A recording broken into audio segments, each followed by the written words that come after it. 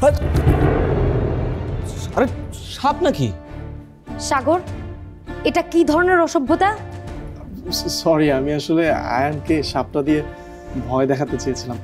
আয়ান ওই সামি এই সাপটা দিয়ে তুতুরকে ভয় দেখিয়েছিল। মাশরাফি জুনিয়র টিভিতে প্রচারিত হওয়ার পূর্বেই সম্পূর্ণ নতুন এপিসোড দেখুন শুধুমাত্র দীপ্ত প্লেতে।